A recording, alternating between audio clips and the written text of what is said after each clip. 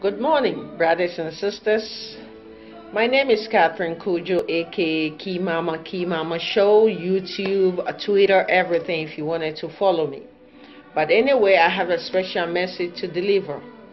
I went to church last week, and during the church service, a voice, I heard a voice, told me, Deliver this message to my people. Do not replace cell phone technology tablet with this Holy Bible.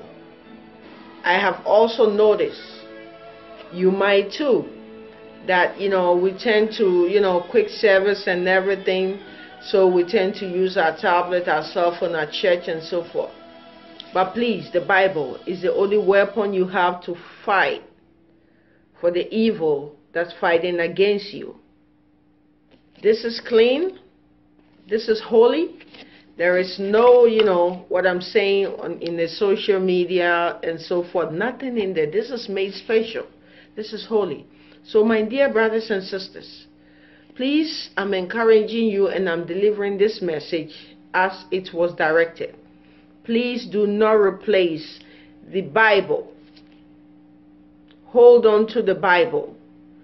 Pray every day. Read your Bible every day.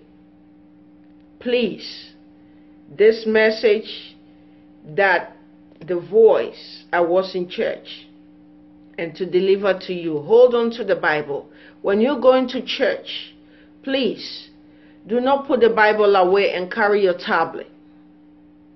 The tablet cannot fight the devil. The Holy Bible is the only key you have. Is the only thing you have to fight the devil that fighting against you. This is what you have to use to teach your children and the generation to come. So please, my brothers and sisters, watching me this morning, please hold on to your Bible. Do not replace it with anything. I thank you very much for watching this video. Please do not keep it to yourself.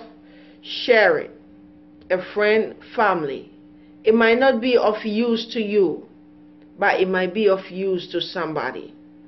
So please, if you believe in God, send this message. Let the message go out to our brothers and sisters.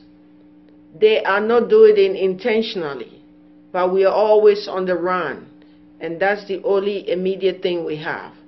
I thank you very much for watching this video. Please do not replace technology. This is the Bible. Hold on to it, and God will bless you. Have a good day.